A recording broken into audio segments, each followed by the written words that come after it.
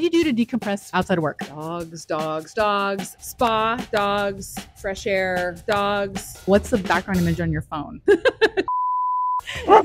dogs. Hit or miss, pumpkin spice flavored anything. Miss, Hit or miss, calzones. miss. Are you an early bird or a night owl? I don't. What's the first thing you learned as a leader? You don't ever want to take yourself out of the trenches per se. Always be willing to do what you're asking your team to do. What was your first job?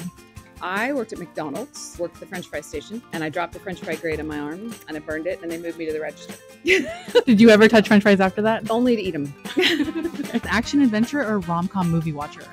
I just like to root for the good guys. Why is communication such an important part of not only T Mobile, but any company? You have to have a voice for any brand in any company, both to your employees and to your customers and to your prospective customers. The good story takes a little time to both be established as well as to be told. The smart companies really understand the power of a good story